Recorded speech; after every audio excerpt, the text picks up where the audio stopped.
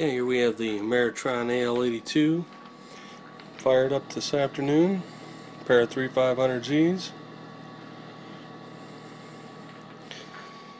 Think of most of these amps as a nice cool kilowatt.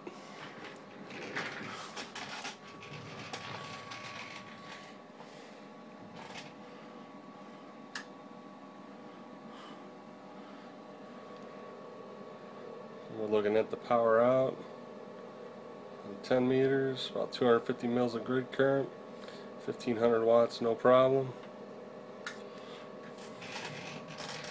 Runs nice and cool, fan's pretty quiet, nice little amp.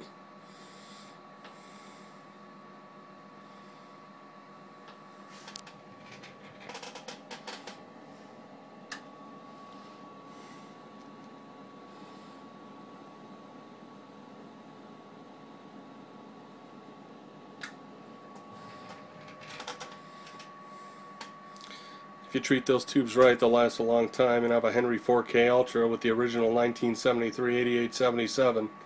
Still makes 2500 watts out.